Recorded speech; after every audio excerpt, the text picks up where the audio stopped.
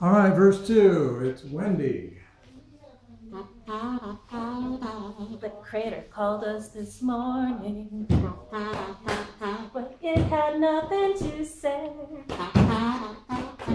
It don't blow without warning.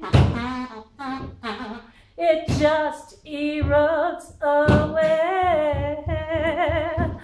That's why we call them crater blues, cause we're the ones gotta break the news. It's not a crater, bona fide. We couldn't guess the weather if we tried.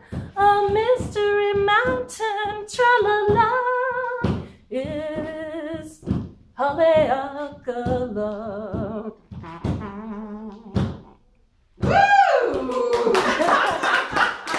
Wendy Sweeney.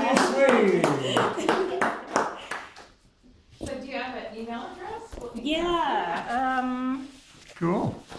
I don't. Everybody like that? Is that fun? okay.